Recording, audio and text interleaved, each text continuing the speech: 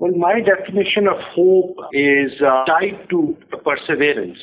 So if someone's willing to persevere in the face of adversity, he's basically driven by this force that we call hope. This ability to persevere with the hope that you would come out on top and survive uh, is what, you know, for me defines hope. My name is Umar Saif, and I share hope all the way from Pakistan. Welcome to I Share Hope the podcast where world leaders share their real stories of hope and how you can use actionable hope to start changing your life today. And now, here's your host, Chris Williams. Umar Saif, you are one of the world's, I would say, leading entrepreneurial thinkers and and innovators. And I've I've been involved in that space for quite a bit of time personally as an entrepreneur here in the States and as a, um, a mentor through an organization called StartCo, where we do a lot of incubator work as well for startups from the States and a few from overseas. But what you're doing is way past that. So your education is unbelievable. I'd love to hear stories about your time I went to Harvard for a very short course, uh, and I'm, I'm hesitant to even call myself an alum of Harvard, but I was there for about 10 odd days for a course on global policy, which was uh, extortionately expensive somehow. I worked at MIT for good four years, and before that, I did my grad school at University of Cambridge in England. Wow. Wow. That's impressive. And then you're really involved in Pakistan. So you're in Pakistan now. Where are you at in Pakistan? I live in Lahore, uh, which is uh, it's sort of a very historic, uh, traditional city uh, in Pakistan. It's also one of the largest. It's the capital uh, of the province of Punjab. Punjab is the largest province in Pakistan. About 60% of people in Pakistan live in Punjab. Uh, and if Punjab was a country, which is this province, it will be the ninth largest in the world by population. Really? Wow. And, and as you know, Pakistan is the sixth most populous country in the world. Yeah. Wow. That's amazing. So, Umar, you're you're known for a computer scientist, for being a computer scientist and an entrepreneur. And you need to explain this because I don't understand this, and maybe I won't even after you explain it. I wouldn't be surprised at that. But you're known for your work using ICT Explain what that means. So ICT stands for Information and Communication Technology. That's basically Internet and computers. Uh, and uh, uh, so, you know, most of the time that I, you know, in the last few years is spent uh, trying to solve uh, uh, local problems of Pakistan and in general the developing world using interesting IT solutions. Uh, as it, uh, you know, sort of, as it happens, uh, most of the products, IT products that get designed, and my favorite example is that of an iPhone, are designed for markets that are fundamentally different than uh, you know, the, the, the physical realities, the economic realities, the social realities of countries like Pakistan and in general the developing world. So for instance, the iPhone 5 is designed for a market where people are tech savvy, want to install applications uh, and, and use it as a full-blown entertainment device.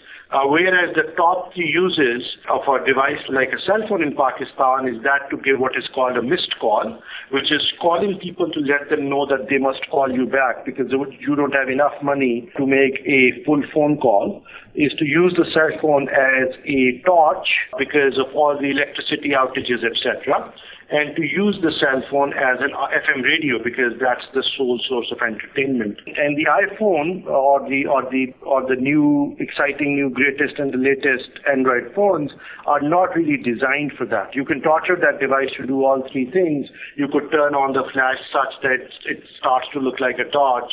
You could use it as an FM radio by inserting headphones in it, etc. Uh, but that's not the functionality that that device is, is designed to perform. So therefore, most of the work work that I do is in figuring out solutions to very local problems of the developing world. That's surprising to me. So the um, the flashlight, the FM radio, and then the the call and hang up to just let somebody know to call you back uh, on their own dime or their own their own penny, their own cent, their own whatever currency you want to use. So the the flashlight makes sense. The FM radio, that's interesting to me. Um, so most programming in these developing countries comes still over the radio waves, not via connection to a cell phone tower or internet. Is that correct? Well, so internet is very patchy, and one would expect that, even though you know the mobile internet, the availability of mobile internet would would change this parity a little bit. And there's obviously television, there's terrestrial television, but people who are on the go and own a cell phone, you know, for them, the FM radio in the cell phone is a major entertainment pull to invest in, a, in this technology. They're basically using it to make missed calls, which is to ask people to call them back, and to use it to listen to songs that they like on FM radio. And that's essentially, you know, how, how these cell phones are used. Now, obviously, there's no cell phone in the world that's designed for those two purposes. Uh, you know, there's some products that are designed for the developing world, hence have those features, but no one in the world is kind of thinking about designing products for just that. So that's just, just sort of an extreme example in the spectrum, but I think there are lots of interesting products, solutions, and a lot of research that needs to be done in how technology is used in the developing world. I love it. Wow. That's creative and extremely, extremely engaging. And then there's so many people who are just tapping that market now for for an entrepreneur like yourself and for so many other people who'd love to back projects financially, I would think there's there's a lot of investment opportunity there um, if mm. if you get the right absolutely. information behind the right product. Is that correct?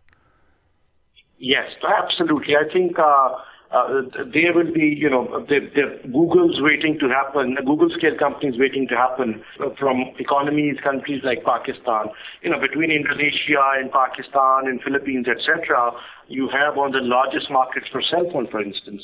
Pakistan is the ninth largest market for cell phones anywhere in the world. We have 135 million cell phone users in this country. We are also one of the largest uh, texting countries in the world. Uh, Pakistan is the, in the text arena that they use the phone to also send text to, text to each other. I think they sent about 253 billion SMSs just last year as of uh, you know published figures. Wow. Uh, so there's a lot of opportunity you know for monetizing the use of technology in this part of the world. So a program like this, I Share Hope, we we record it and then we release it on an MP3 file um, via podcast typically, but we have a, a direct MP3 file download link on our website. Is is that something that the average cell phone user or average person in Pakistan could actually get a hold of? Or is that type of file or media not really accessible? Well, I think media is accessible, uh, but the bandwidth, etc., is not such that you know you could use streaming video, any of that, uh, you know, in real time. Okay, yeah, that makes sense.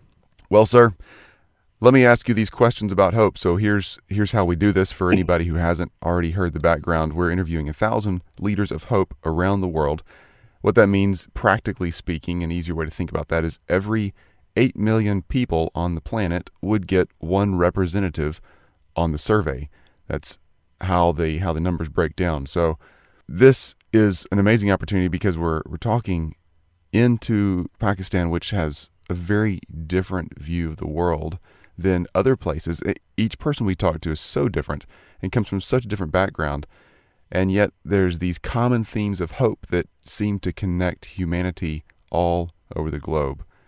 So, Umar, I really appreciate your time. Question number one is What is your definition of hope or your favorite quote about hope?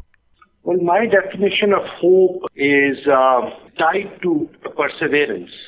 So, if someone's willing to persevere in the face of adversity, he's basically driven by this force that we call hope. And my favorite thing to say about hope is this little incident that I was told in college by a professor where he explained an experiment, I think done on frogs or mice or, or, or you know, it was a laboratory experiment where they put frogs in water for several hours and the frogs had to swim, swim to stay afloat and to stay alive. At the end of that experiment, uh, you know, they allowed some of these frogs to drown and the rest were rescued and put into another jar. And that same experiment was repeated again. The ones that got saved, because they had hoped that they could live, in the next experiment swam for much longer, actually 10 times longer, in the hope that they would survive again. Whereas the ones that were new to the experiment gave up much more quickly. So I think this ability to persevere with the hope that you would come out on top and survive uh, is what you know for me defines soul. Great example and a great definition. I've never heard of that experiment, and uh, that's that's very consistent with so many of the other conversations we've had here on I Share Hope. If you if you do win and you succeed, and you get another chance, it really does build for the next chance and the next chance. And there's so much needed in the way of, of giving a chance and an opportunity to yourself or to others around you just to instill that hope and allow people to keep going because people are so strong and tenacious and can do so much. Question number two Who's given the most hope to you? Who's who's delivered that hope so you can grow in your strength? I think the one person who's given me a lot of hope is my father. I, I suspect that will also be consistent across interviews.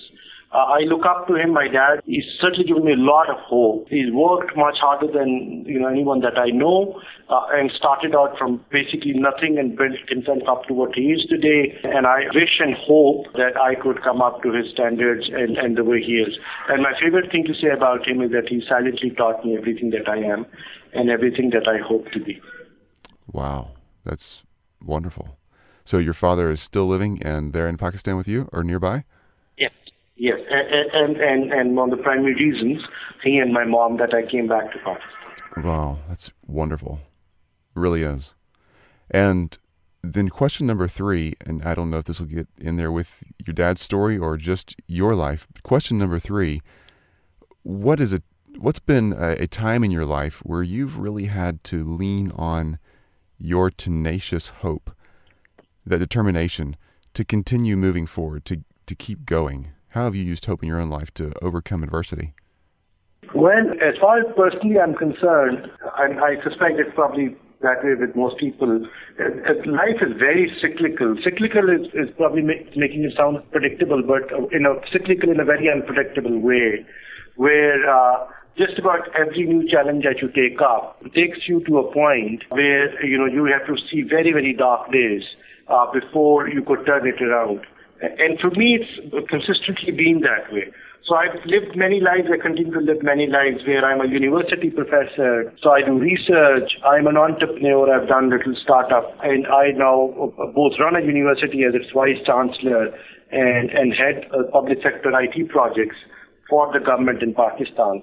And in all these lives, uh, you know, because each one of these were new challenges when I started this sort of a different life, and maybe there's these four lives that are running in parallel, each one, you know, takes you to really, really dark days where, you know, your startup idea, you spend many months trying to raise money, building a team, building a product, and someone else comes up with something much better, and months of effort just goes down the drain. And then you try it one more time and try it one more time, and it's about to work out. Your team, your co-founders leave you. When it's about to work out, you know, your investor pulls out. Likewise, in government, you know, there are things that you want to do, and you come they come this close, and the government changes, or someone, you know, someone key decision maker that you're working with, you know, goes away, etc. So there are lots of times when you really, you know, think that you, know, you can't keep it together anymore and can't keep going. Uh, but over time, I think one thing that one develops, and that I think is a sort of almost interchangeable with hope, is faith, uh, where you kind of develop, uh, you know, maybe uh, just by going through these uh, really dark periods and downtimes, is this faith that eventually all these dots will connect and all the effort that you're making and all the dues that you're paying to accomplish something will come through. So if one door closes, another door will open up. But somehow, you know, in, in, in hindsight, these things will work out. And I'm not very old. I'm, I'm in my mid 30s. I've certainly convinced myself of this uh, self-belief, of this faith uh, that if I keep at it, uh, eventually things will work out. And so far, they almost always have. You're right. Uh, you're you're right in that many people seem to say the same type thing. If you keep going, just keep going, getting past that dark day, whatever is it in your life. If it's uh, an illness, if it's um, a period of depression, if it's a business or a governmental issue, incar- incarceration, addiction. We have so many stories, but so many people continue to say you have to move forward. Keep moving forward because you'll catch it sooner or later. You'll catch on. You get it. You'll make the next step. You'll make the right connection, whatever the genre is. Great, great advice. So, question number four then How are you using hope today? So, how are you building that into your own life or in the lives of others around you? Well, I think just the fact that uh, you know you you develop this faith that things eventually will work out if you do all the right things, that you have honesty of purpose, you are paying your dues, working hard, and you're making sure that you know you never do anything that might hurt or harm other people. Uh, so it, you're doing all the right things, and that things will work out once you develop this, uh, uh, uh, you know, this faith, uh, then it's also easy to share that faith with a lot of conviction, which I do with all the young entrepreneurs that I work with. I run a very large startup incubator here, where you get people that come in with ideas, wanting to build interesting products and companies. And I think the the number one task that I have is to evangelize hope, is to sell them this faith, this self belief that if they keep at it and do all the right things, they will one day succeed in life. And I think once an entrepreneur, a professional, uh, a university student internalizes this message of hope, you know, then most of your work is already done. Then it's just a matter of time before, you know, it, it, they, they, they get their big, big breakthrough. So I actually rely on this and, and I think a large part of my day is spent in evangelizing hope, in spreading this faith that if you're doing all the right things, uh, you know, you will get somewhere. And I think once someone internalizes it, uh, that's half the battle. Great points. And leading into question number five, then, so, what are some simple steps? If I'm one of your students, how are you going to tell me to continue building that hope? Are there two or three simple steps that I should keep repeating and going back to to make sure that I don't get lost in the weeds, but actually stay on the track and and keep pursuing my goal or my my need to change whatever in life? Well, I, I don't know how to answer that. One, one thing that I, you know I, I helps me uh, is my own uh, credible story that I uh, tell people who work with me that see, you know, this is working out for me, so please keep faith. Also to inspire them with examples of other successful people, people who've gone through very dark times in life and come out and have subsequently gone on to do very well, especially people doing IT startups where the success rate is literally 2% uh, you know, this is the sort of thing that really needs to hit home. Uh, but I think also statistically, if people are doing the right things, they do keep getting this positive reinforcement every so often. So I think in some ways, you know, sort of you have this faith and leave it to higher forces to guide you and to keep you on a straight and narrow by rewarding you every so often and showing you the light so that you don't get lost in the woods. Great point. Great point. I love the message of keep moving forward. And, and it really does. You keep finding those opportunities where you get that positive reinforcement and you do continue seeing a new way. And, and really, you know, there's so many, so many times where in my life, it sounds like in your life and in other people we are talking to, you might have never seen the way to achieve or accomplish or succeed at something if you hadn't gone through the really dark period. And and that continuing to come back and trying again, even if it's 10 times later or 100 times later, when you finally see that moment, that's when the breakthrough happens. Not just in entrepreneurship, but in whatever situation you're coming through in life. That's really great advice. Thank you. Well, sir, you've been tremendous. If there's is there anything else that you say, you know, we really should understand this about hope or this about how you've succeeded in life? Is there anything else you'd want to leave us with? A, a last nugget of truth? No, I think one, I, I, I want to applaud this effort, that uh, this effort of spreading hope. Those teams, uh, uh, you know, uh, uh, seems odd in the sense that no one's doing it and seems like such an obvious and a simple thing to do. But I'm glad that someone is in a country like Pakistan, where you know there's a security situation, there's a lot of this is a very young country. About 60% of the population in Pakistan is below the age of 30, and so therefore lots of young people, you know, really struggling to figure out uh, what they are and, and what this country is about, and about religion and extremism, and where do we stand vis-a-vis the rest of the world, and you know just the economic challenges and the challenges of a developing world that a lot of people in this country are going through. This message of hope hope should resonate well with such people. And we need a lot of hope and ample amounts of this hope, especially in a country like Pakistan. I'm glad you're there. I'm glad you're on the side of hope. I really am. Thank you, Chris. It, it, was, it was such a pleasure to talk to you. Thank you. Sir, it's been a privilege to talk to you. Thank you for your time. I will uh, I'll reach out to you and if people want to hear more about you or follow you on social media or websites, how do they stay in touch with you and follow your progress? Well, my my Twitter account, my Twitter handle is Umar Saif. Uh, so people wanting to follow me can follow me on Twitter. So the Twitter handle is at sign and then U M A R S A I F. Umar Saif. Yes. Excellent, sir. We'll put that in the show notes and we'll look forward to sharing this story of hope. You've just listened to I Share Hope. If you're ready to make a change, head to our website at isharehope.com and claim your free copy of the top 10 actions of hope from world leaders to use hope in your own life. Thanks for listening, and we'll talk to you next time. I went to Harvard for a very short course, uh, and I'm, I'm hesitant to even call myself an alum of Harvard, but I was there for about 10 odd days for a course on global policy, which was uh, extortionately expensive somehow. I worked at MIT for good four years, and before that, I did my grad school at University of Cambridge in England. Wow. Wow. That's impressive. And then you're really involved in Pakistan. So you're in Pakistan now. Where are you at in Pakistan? I live in Lahore, uh, which is uh, sort of a very historic uh, traditional city uh, in Pakistan. It's also one of the largest. It's the capital uh, of the province of Punjab. Punjab is the largest province in Pakistan. About 60% of people in Pakistan live in Punjab. Uh, and if Punjab was a country, which is this province, it will be the ninth largest in the world by population. Really?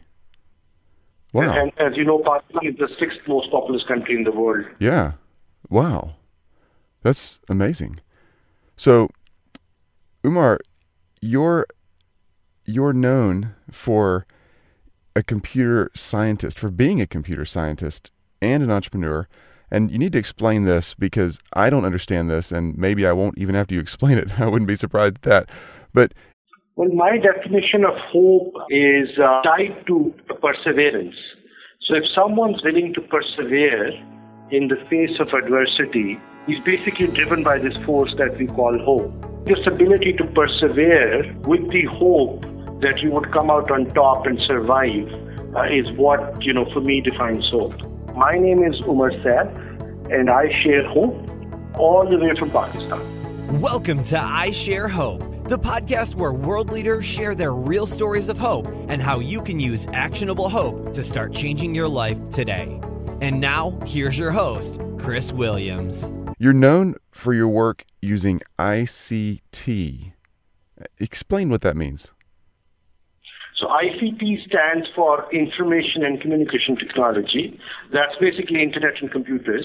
Uh, and uh, uh, so, you know, most of the time that I, you know, in the last few years spent uh, trying to solve uh, uh, local problems of Pakistan and in general the developing world uh, using uh, interesting IT solutions. Uh, as it, you know, sort of, as it happens, most of the products, IT products that get designed, and my favorite example is that of an iPhone, are designed for market. Umar Saif, you are one of the world's I would say, leading entrepreneurial thinkers and and innovators. And I've I've been involved in that space for quite a bit of time personally as an entrepreneur here in the states and as a, um, a mentor through an organization called StartCo, where we do a lot of incubator work as well for startups from the states and a few from overseas. But what you're doing is way past that. So your education is unbelievable. I'd love to hear stories about your time